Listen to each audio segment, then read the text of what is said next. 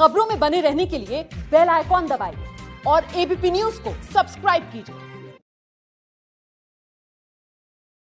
Message बहुत सादा सा है कि अंतरात्मा शरीर और मन ये सबको स्वस्थ रखने का बहुत ही सरल उपाय है। अ, अपनी दिनचर्या में अगर हम योग को जोड़ लें तो अप मानसिक संतुलन से लेकर शारीरिक संतुलन और प्राकृतिक संतुलन अब से अपने आप से पैदा हो जाएगा। और जब लोगों के विचार ठीक होंगे तो सब कुछ वैसे ही ठीक हो जाएगा।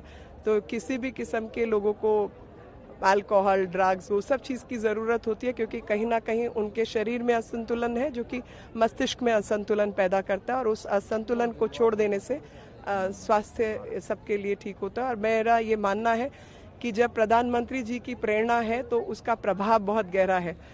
क्योंकि प्रधानमंत्री जी खुद सबके कहते हैं तो जब के से बात निकलती है तो उसको लोग अच्छे से फॉलो करते हैं। ट्रिपल तलाक बिल भी आज पेश हो चुका तो इस बारे में क्या काफ़ी तलाक तो खत्म होना चाहिए। ट्रिपल तलाक हलाल महिलाओं को डिग्रेड करने वाली चीज़ है।